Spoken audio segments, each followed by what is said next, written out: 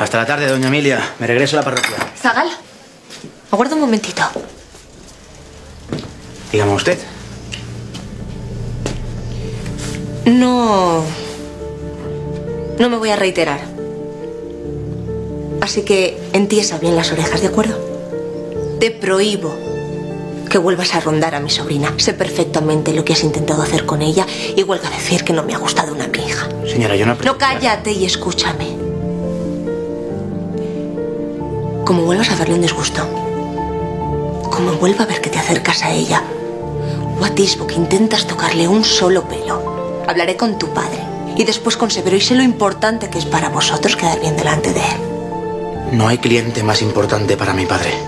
Pues si no quieres que lo pierda de la noche a la mañana, quedas avisado. El rumbo del negocio depende de ti, ¿de acuerdo?